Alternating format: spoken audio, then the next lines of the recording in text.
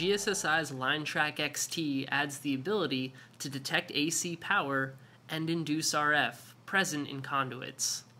This accessory detects low amplitude AC signals associated with difficult to locate conduits. The LineTrac info seamlessly fuses with your GPR data, aids in target discrimination, allows for detection at 50 or 60 Hz, and has a rugged IP65 rated enclosure.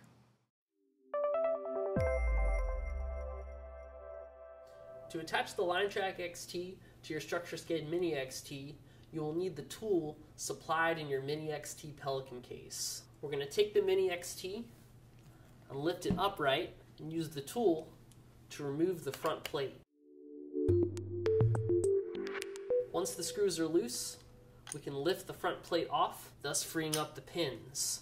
We can then use the guiding pin and the guide on the LineTrac XT to line the device up at the front. Once the LineTrac is in place, we're going to take the tool and screw it down to the front.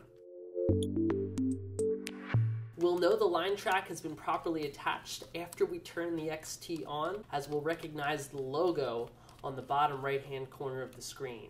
Also make certain that you select Scan Max and make sure that the LineTrac is on before surveying.